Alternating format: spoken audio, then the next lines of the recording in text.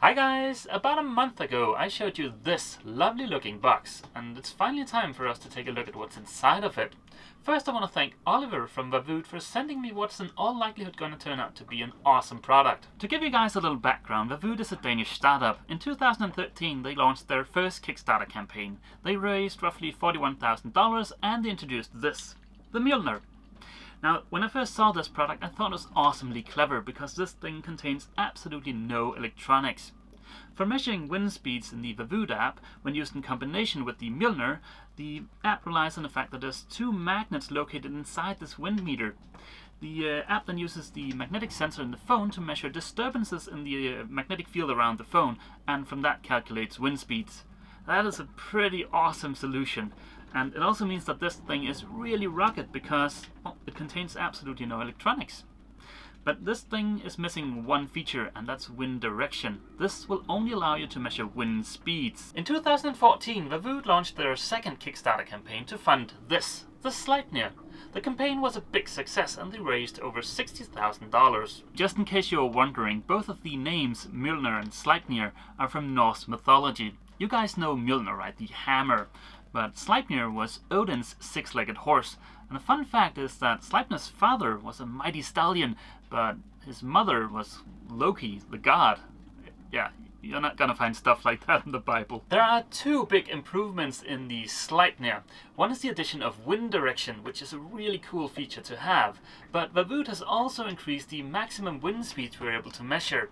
With the Mjolnir, we were only able to measure wind speeds up to 20 meters per second, but with the Sleipnir, that's been increased to 40 meters per second. Now you might be wondering why the Vaavud doesn't support wind speeds higher than 40 meters per second, but honestly, if it's blowing just shy of 80 knots outside, I'm not going to be pulling out my smartphone to measure wind speeds. Definitely not while sailing. But let's get down to brass tacks and take a closer look at the Sleipnir. The packaging of the Sleipnir is first class and it raises very high expectations for the product inside.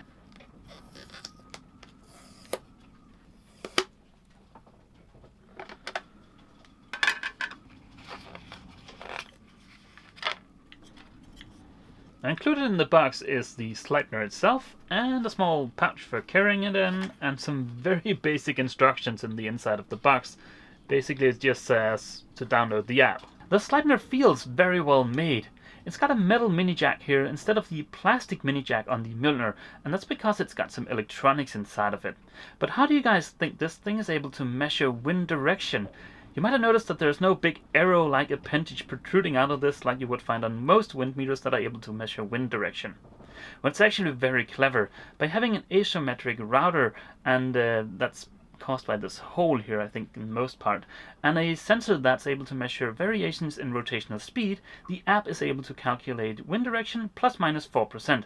Now that is awesomely clever, and it's clever and innovative solutions like this that startups do so well, and Vaavud certainly doesn't disappoint in that department. For me to be able to use the Mjolnir or the Sleipnir, I have to go and download Vaavud's app.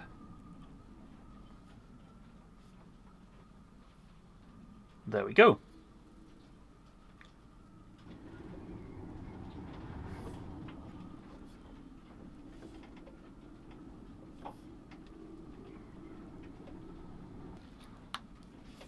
In the settings, I'll just choose the Sleipnir as the wind meter I'm using.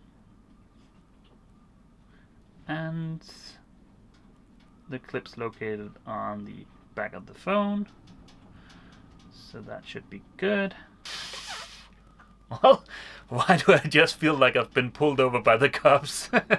well, uh, there's a bit of wind outside today, so uh, let's go out and test this. And as luck would have it, yesterday I received what's known as a dead cat. That's this fluffy sack up here covering the mic and the camera, and uh, hopefully that should take care of most of the wind noise.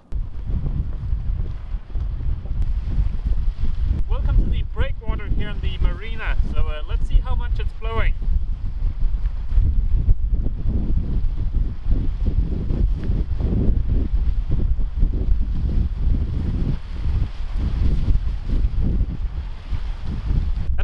it's only blowing 7.4 meters per second, but it feels like a lot more, and that's probably because the air is so frigid.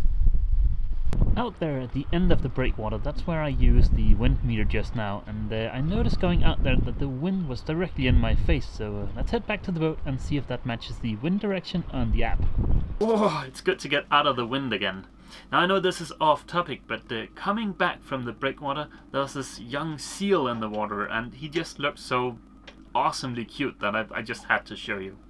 But uh, let's get back to the wind meter. Now, I don't really have a way of checking the wind speed measurements, but uh, let's take a closer look at the wind direction. This is going to be a very crude and inaccurate way of testing whether or not the Sleipnir can actually tell wind direction.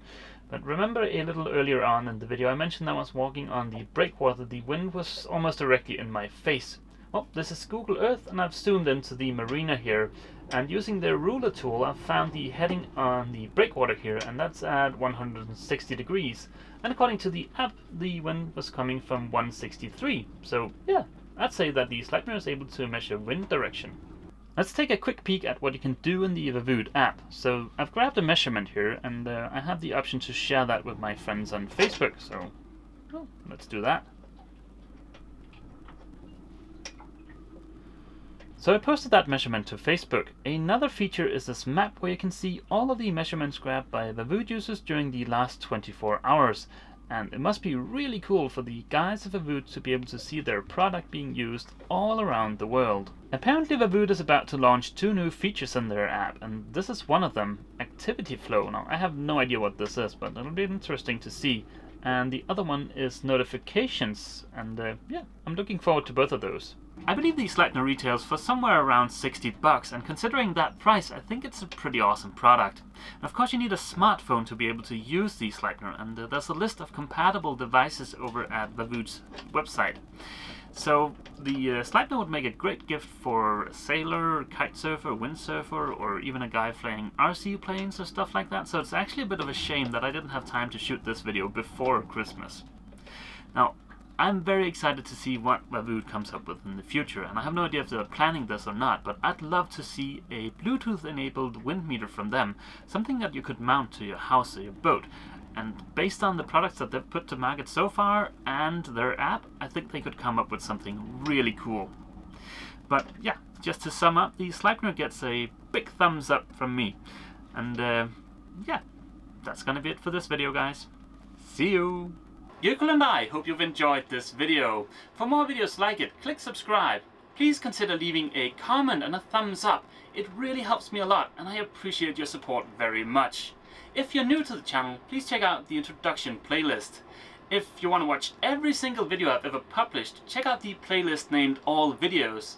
It contains every single video listed in chronological order.